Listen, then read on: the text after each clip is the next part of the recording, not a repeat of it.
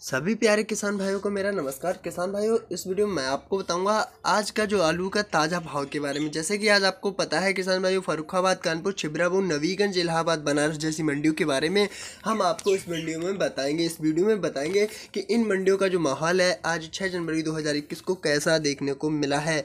तो चलिए किसान भाइयों, वीडियो को शुरू करते हैं और वीडियो को शुरू करने से पहले अगर आपने अभी तक हमारे चैनल को सब्सक्राइब नहीं किया है तो हमारे चैनल को ज़रूर सब्सक्राइब करें और बेल आइकन को प्रेस कर दें ताकि किसान भाइयों, जब मैं अपनी अगली वीडियो अपलोड करूँ, उसका नोटिफिकेशन आपके पास पहुँच सके।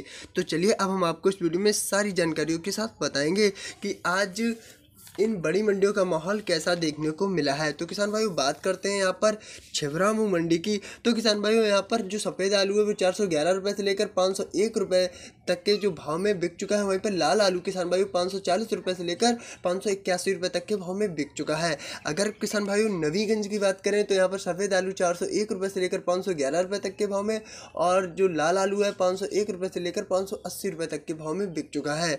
अगर किसान भाइयों इलाहाबाद मंडी की बात करें तो यहाँ पर किसान भाई एक हज़ार रुपये से लेकर बारह सौ पच्चीस रुपये तक के भाव में प्रत्येक क्विंटल के हिसाब से जो आलू है, इलाहाबाद मंडी में देखने को मिला है। अगर बनारस मंडी की बात करें किसान भाइयों तो नौ सौ रुपये से लेकर तेरह सौ रुपये तक के बीच में जो आलू है वो बनारस मंडी में देखने को मिला है। वहीं पर अगर कानपुर मंडी की बात करें किसान भाइयों, कानपुर मंडी में तो जो आलू है वो मन के हिसाब से खरीदा जाता है। सफ़ेद आलू तीन सौ पचास से लेकर चार सौ तक के भाव में खरीदा गया है और लाल आलू चार सौ पचास से लेकर पाँच सौ एक तक के भाव में खरीदा गया है। यहीं पर अगर फरुखाबाद मंडी की बात करें तो चार सौ से लेकर पाँच सौ एक तक के भाव में जो आलू है वो बिका हुआ है सफ़ेद और लाल आलू किसान भाई चार सौ पचास से लेकर पाँच सौ इक्कीस तक के भाव में बिका हुआ है फरुखाबाद मंडी में। किसान भाई, ये बड़ी अपडेट है और ये बड़ी अपडेट हमारे पास अभी अभी अपडेट होकर आई है।